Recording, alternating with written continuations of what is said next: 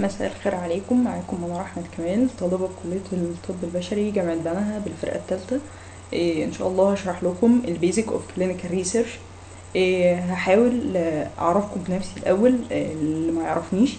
أنا بشتغل بقالي ثلاث سنين في مجال ال research إيه أنا يعني sub leader في حاجة اسمها اميدرا و educator معاهم.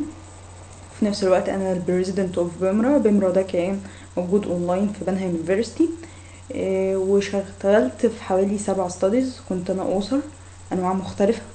وكمان شاركت ك collaborator في ثلاثة national و international studies لو حد حابب يستفسر عن أي نقطة هشرحها مش هتكون واضحة مثلا ولا حاجة في ايميل مكتوب تحت يا ريت أي حد ممكن يتواصل معايا بيه.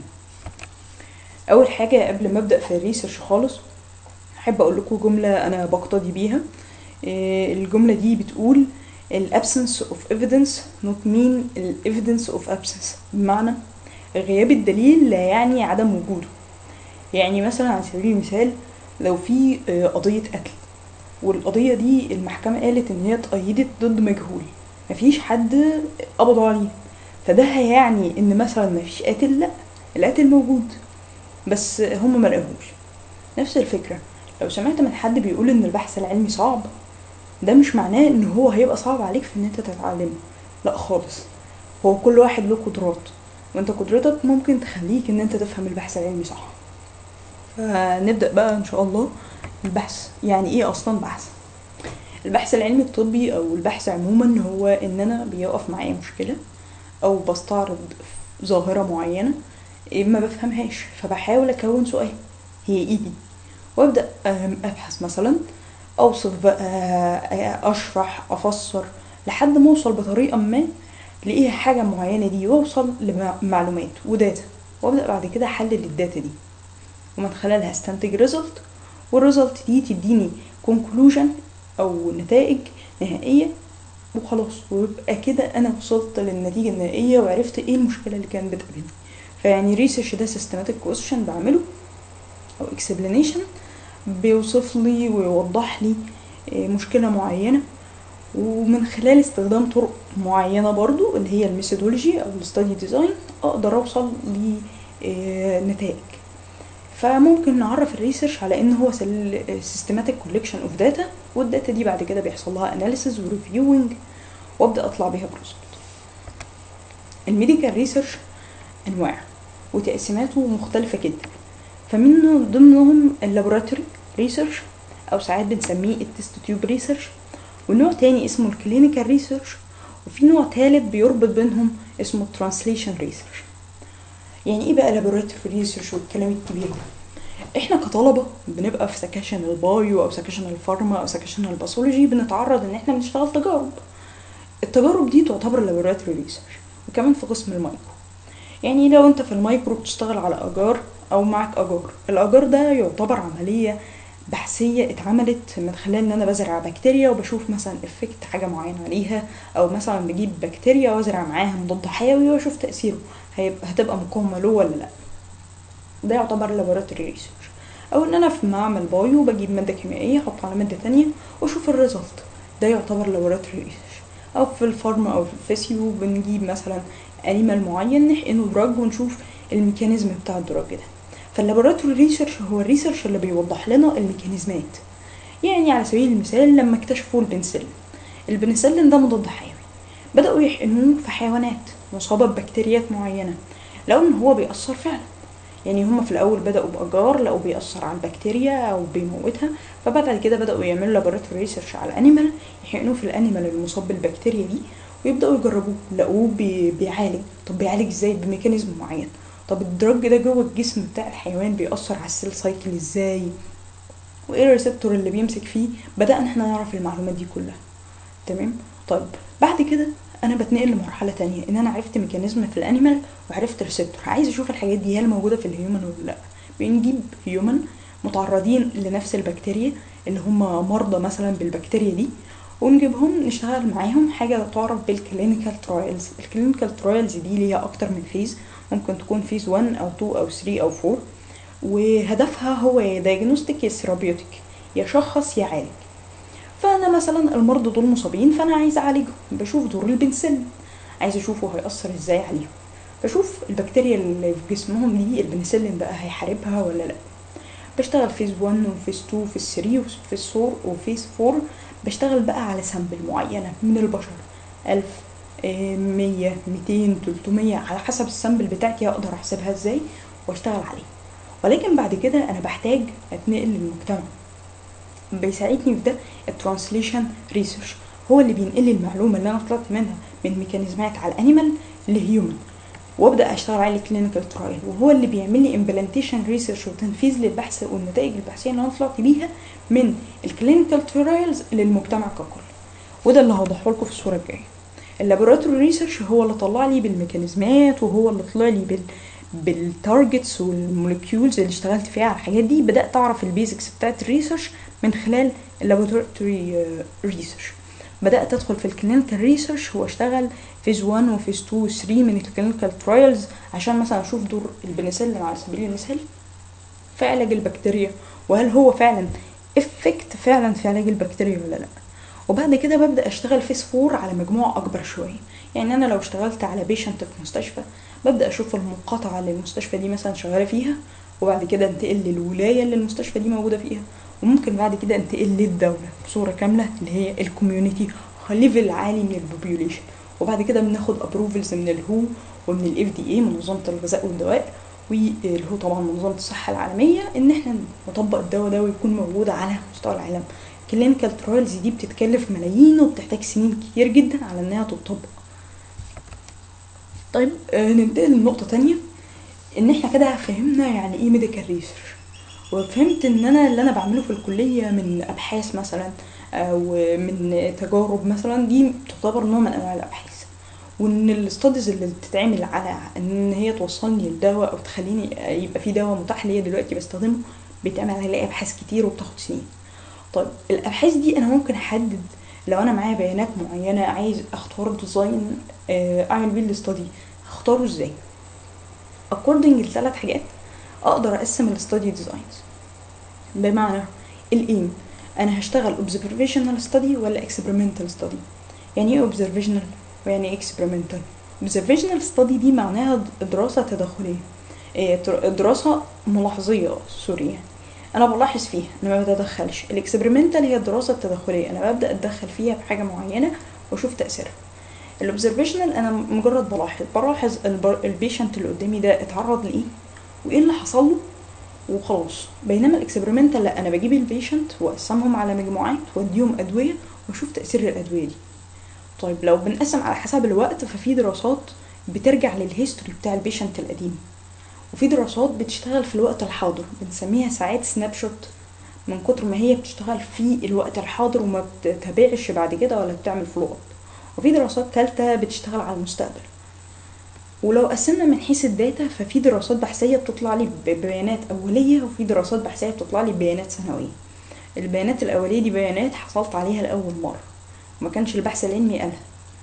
بينما البيانات الثانوية أو ال secondary research هي بيانات بالفعل نتجت ولكن كانت متوزعة بصورة مختلفة. كل study بتقول حاجة. فأنا ببدأ أجمع ال studies دي كلها سوا وأبدأ أعمل لها reviewing و analysis إيه لو من حيث ال aim فال experimental study ممكن نوصفها بأن هي ال clinical trials أو ال control trials وال control trial منها نوعين random أو non random بمعنى إيه؟ إن إحنا يا هنوزع ال patient دول عشوائيا وأبدأ أتعامل معاها بصورة عشوائية خالص. إيه أنا مش عارف. العشوائية دي بتختلف لها درجات. أنا ممكن ما أكونش أنا كطبيب مش عارف أو ممكن ال patient ما يكونش عارف أو ممكن إحنا الاثنين ما نكونش عارفين وفي حد تالت هو اللي عارف. الدواء بقى ال patient ده بياخد دواء إيه وده بياخد دواء إيه. تمام؟ أو not random مش متوزعين عشوائيا طيب ال clinical trial أو ال control trial زي ال clinical trial هي نفسها بتبقى phases قلنا قبل كده إن هي بتبقى phase 1 و 2 و 3 و 4 آه بمعنى إيه؟ إيه اللي بيحصل بالظبط في ال random control trial أو اللي بتختصر ساعات مثلا بال RCT أو ال non random control trial بيحصل فيهم الاتي إن أنا بجيب مجموعة من ال patient ال patient دول بيبقوا different exposed ل يعني بمعنى صح متعرضين لحاجات مختلفة. مجموعة بتبدأ تاخد دواء ومجموعة تانية بتاخد حاجة شبه الدواء. هو مفيش فيه مادة فعالة ولكن هو عبارة عن جلوكوز أو فركتوز اسمه بلاسيبو آه، آه، البلاسيبو أو البلاسيبو على حسب نطقك آه، ده حاجة بتكون وهمية بديها لل patient وأشوف تأثيرها. يا ترى ال patient ده كان psychotic أكتر ما هو diseased يعني ولا لأ؟ وأبدأ أتابع حالته. وطبعا في دراسات بتطلع بنتائج عجيبة يعني ساعات ممكن تلاقي ال patient اللي بياخد بلاسيبو اتحسن وال patient اللي بياخد الدواء الحقيقي ساء حالته فدي بتبقى غريبة. وده ساعات بتطلع لأخطاء كمان في ال sample. فيعني ال random control trial أو ال non random control trial هي الملخص بتاعها العام إن أنا بجيب مجموعة من المرضى بوزعهم سواء عشوائيا أو لا عشوائيا والمرضى دول المرضى دول بيتعرضوا إن هم ياخدوا أدوية. ممكن ياخدوا دواء واحد قصاد بلاسيبو. بدخل معاهم بحاجة اسمها intervention intervention ده اللي هو اللي أنا هتدخل بيه اللي هو الدواء. وفي نفس الوقت بعمل control أو compare بال placebo أو أو drug تاني حتى كمان مش شرط البلاسيبو ممكن ما تتوقفش على drug ات يعني إحنا ممكن نقارن بين عملية جراحية والتانية أو عملية جراحية وعملية لا جراحية يعني ما بدخلش جراحيا أصلا. فيعني random control trial دي حاجات كبيرة جدا. في نفس الوقت بتبقى مكلفة ومش available لينا كطلبة إن إحنا نشتغلها. طيب ال observational research ده له تقسيمة اسمها analytic و descriptive مش وقتها خالص دلوقتي. آه بس المهم اللي أنتوا تعرفوهم ان ال observational study أربع studies study اسمها cohort study و cohort بالإنجليزي يعني مجموعة. cohort study دي بجيب مجموعتين. إيه ما بدخلش. أنا مجرد ملاحظة. أنا بلاحظ. بجيب مجموعتين. مجموعة منهم اتعرضت لحاجة ومجموعة ما اتعرضتش للحاجة دي. وأشوف إيه النتيجة. بمعنى مثلا إحنا في فترة الشتاء وفي برد والناس بتتعب فأنا شفت مجموعتين. مجموعة خدت ال vaccine بتاع الإنفلونزا ومجموعة تانية ما خدتش ال vaccine بتاع الإنفلونزا وعايزة أشوف ال result هلاقي مجموعة من اللي خدت ال vaccine المجموعة اللي ما خدتش ال vaccine فيهم ناس تعبت جالها outcome بتاعها إن حصل لها إنفلونزا. فأنا هنا بشوف بشوف مين بقى اللي خد ال vaccine وخف ومين اللي خد ال vaccine وما خفش وجات له إنفلونزا. وبالنسبة للناس اللي ما خدتش ال vaccine خالص بشوف هم خفوا هم تعبوا ولا ما تعبوش. يبقى أنا دلوقتي ال cohort study بالنسبة لي إن أنا بجيب مجموعتين اتعرضوا. مجموعة اتعرضت لحاجة ومجموعة ما اتعرضتهاش وأشوف ال outcome مجموعة خدت ال vaccine بتاع الإنفلونزا ويا ترى حصل لهم جالهم إنفلونزا أو لأ؟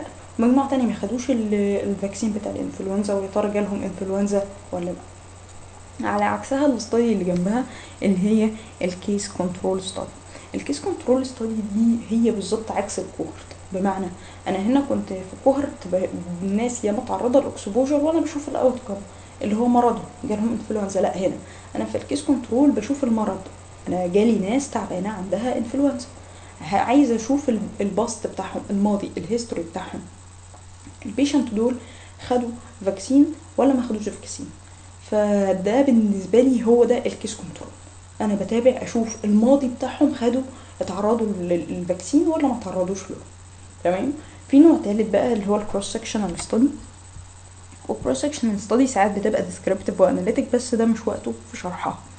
دي يعتبر نوع من أنواع ال studies بتبقى snapshot يعني إيه snapshot يعني في الوقت الحاضر present ال study دي ببدأ أشوف فيها حاجة حاجات زي إيه؟ حاجة اسمها prevalence معدل انتشار. يعني أنا نزلت ب survey للناس بقول لهم يا جماعة أنا عايزة أنتوا أعماركم كام؟ معظمهم مثلا فوق الخمسين سنة.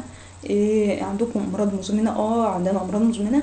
فأنا طلعت بنتائج إن الناس الكبار في السن عندهم أمراض مزمنة.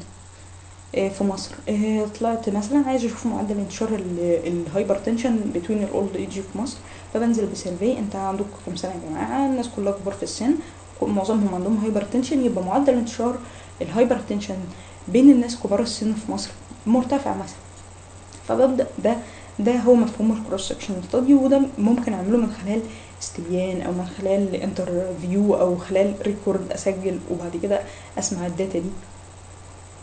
ده بالنسبة لل cross section طب آخر نوع خالص ال case series وال case report وده مثالها سهل جدا واقعي حاضر لينا إن إحنا مثلا على سبيل المثال في شهر ديسمبر الصين مثلا سجلت حالات كورونا. أول حالة راحت المستشفى راحت مثلا بكحه ناشفه dry cough و shortness of breath ضيق تنفس أو نفس بتاعها قصير وفي نفس الوقت عندهم fever حمى.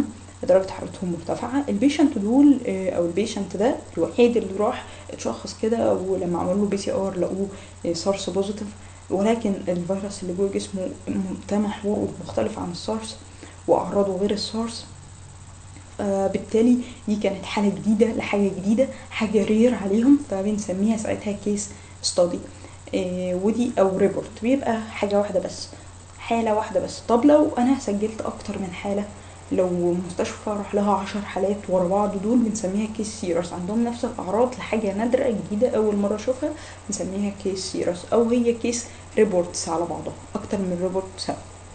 طب ده كان كله حسب ال aim. لو نفتكر من ال slide القديم طب حسب ال time وده قلته إن ال cohort study ممكن تشتغل على آه، مستقبل أو ممكن تشتغل على الماضي تجيب معلومات من الماضي أو المستقبل. ال cross section على سبيل المثال قلنا بنشتغل في الوقت الحاضر ال case control قلنا إن إحنا بنشوف الناس دي تعرضت لل vaccine ولا لأ لأنهم دلوقتي مرضى ترى خدوا ال vaccine ولا لأ؟ فأنا بالتالي برجع للماضي بتاعهم. ال clinical trials بتديني أهداف لل future أو بتشتغل على ال futures المستقبل يعني. طب according لل data قلنا primary أو secondary ال primary هي اللي بتطلع بمعلومات جديدة أولية أول مرة البحث العلمي يعرف عنها حاجة. فبنسميها primary research ولكن ال secondary هي ما هي إلا إن أنا بجيب البيانات اللي تم الحصول عليها من ال primary research وأعمل لها analysis وأعمل لها reviewing حاجة مهمة قوي بالنسبة لل primary وال secondary research اللي هو إحنا أصلا يعني common للطلبة ثلاث أنواع من ال studies يعني أسهل ثلاث أنواع من study الطلبة تقدر تشتغلها هي systematic review و meta-analysis و أو literature review أو narrative review على حسب اسمه و cross sectional study دول أسهل ثلاث studies الطلبه تقدر تشتغلها. هنشوف ال studies دي بتتصنف إزاي ومدى قوة ال evidence بتاعها كدليل أقدر أعتمد عليه قوي ولا ضعيف. عايزين نشوف ال primary research فال primary research اللي بيندمج تحته ال animal study وال laboratory study وبيندمج تحته الكيس سيرس والكيس ريبورت والكيس كنترول والكوهرت والراندوم دول كلهم يعتبروا primary research بينتجوا عنهم معلومات جديدة أولية البحث العلمي ما يعرفهاش طيب في عندي في قمة الهرم ده الهرم ده يسمى بال evidence based medicine pyramid أو الطب القائم على دليل الهرم الخاص بيه. في القمة هنلاقي عندنا ال systematic review وال meta-analysis احد أنواع ال secondary research طب في نوع تاني من ال secondary research اسمه ال narrative review ال narrative review ده يصنف في موقعه في الهرم في المكان اللي بالظبط. دي مكانته. ال narrative review ده غالبا اللي الكليات هتطلب من الطلبة إن هي تشتغله. فهو هيكون محل كلامي في بقية الفيديو أو في فيديو تاني آه عشان خاطر وقتكم وكده. آه فال narrative review ده آه هكلمكم دلوقتي عن ال structure بتاعه وال steps بتاعته. أنا حبيت أعرفكم صورة عامة عن يعني إيه أصلا medical research ويعني إيه study design اللي هو ال methodology يعني اللي إحنا كنا بنشرحه ده كله اسمه methodology أو study design وإزاي أنا ممكن أشتغل بقى؟ ده اللي هنتكلم عليه بعدين. بس أهم حاجة أنتوا تبقوا فاهمين إن في حاجة اسمها evidence based medicine وده إن شاء الله هيكون في فيديو تاني. أه حاولوا بقدر الإمكان الصورة دي تكون مطبوعة في دماغكم لأن دي مهمة قوي أنتوا بقوا فاهمين إن ال secondary research هو دلوقتي في منه نوعين هما ال top أعلى evidence ممكن نعتمد منها على البيانات اللي هو ال systematic review وال meta-analysis بالنسبة بقى لل narrative review فال narrative review ده عشان أعمله ببدأ من خلال إن أنا بكتب title يعني هو ك study مثلا قدامي خلصانة بشتغل على التايتل والانترودكشن والمين تكست وكونكلوجن وريفرنس التايتل مثلا على سبيل المثال إن أنا طلب مني في الكلية إن أنا أشتغل على topic زي مثلا حجم ال lymph node في حالة ال liver cirrhosis وال changes اللي بتحصل فيها. فأنا ببدأ أشوف ال changes في ال lymph node في during ال liver cirrhosis ببدأ أبحث وأبدأ أكتب title ال title في ال literature review أو ال narrative review بيبقى broad سؤال واسع مش سؤال محدود. بكتب introduction ال introduction بتتكتب من ثلاث paragraphات أول paragraph هتكلم فيه مثلا عن ال lymph node إيه هي أصلا يعني إيه ال lymph node وإيه ال changes اللي ممكن تحصل في ال lymph node تاني paragraph بتكلم فيه عن ال liver cirrhosis وايه إيه هو ال liver cirrhosis وبيحصل ليه وطبعا دي بتبقى paragraphات صغيرة لأنها في ال introduction تالت paragraph بتكلم فيه عن الهدف. أنا بعمل reviewing للبيانات اللي بتطلع تقول إن في changes بتحصل في ال liver مثلا. آه، بينتج عنها تأثيرات بقى على ال size بتاع ال lymph node وعلى ال shape بتاعها يعني microscopic شكلها بيتغير حجمها مثلا بتكبر بتصغر الحاجات دي كلها. ببدأ main text بعد ال introduction على طول. ال main text ده هو قلب ال study ال body بتاعها. بمعنى إن ال study دي المفروض بتبقى متكونه من جوه من أربع أو خمس من ثلاثة لاربعة لخمسة أجزاء. يعني أنا اتكلمت فوق في ال introduction بشكل مختصر background عنه إما جوه في ال main text بشرح يعني ممكن أشرح عملية ال liver cirrhosis كاملة بس في paragraph مثلا ما يزيدش عن صفحة. وبشرح بعد كده مثلا ال changes اللي بتحصل في ال lymph node وممكن ال changes دي بقى تبقى على حسب حاجات مختلفة. أو بشرح lymph nodes مثلا في أماكن مختلفة. فكل نوع مثلا يبقى في صفحة لوحده. فبالتالي يبقى يطلع عندي أربع خمس سكاشن في ال body بتاع ال study بعد كده بقرأ الكلام ده كله وأشوف أنا استنتجت منه وفهمت منه إيه. وأكتبه في صورة conclusion بتاخد مثلا صفحة أو أقل. وأبدأ أكتب ال reference بتاعتي. ال reference دي مهمة قوي من حيث أنا هعمل لكم فيديو تاني اشرح لكم إزاي تعملوا ال reference وترتبوها لأنها مهمة قوي إن أنتوا بتمشوا study يعني جملة جملة في ال study بتكون ليها citation في الآخر.